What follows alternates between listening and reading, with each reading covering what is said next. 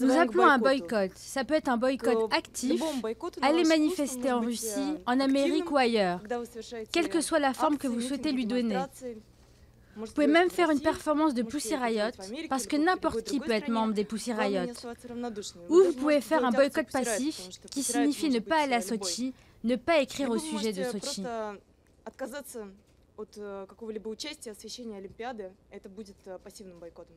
Быть не Non, может, nous allons rentrer en Russie, nous voulons vivre en Euh, Russie. La notre question ne se pose страна, pas, c'est notre et pays, мы nous хотим voulons en делать faire un свободу. pays libre. Pussy Riot, in, in many ways, Pussy uh, Riot, for de me, bien des façons pour moi, symbolizes the spirit of symbolise what l'esprit Amnesty stands d'Amnesty, for, which qui est de prendre les injustices de façon personnelle et de dire la vérité au pouvoir.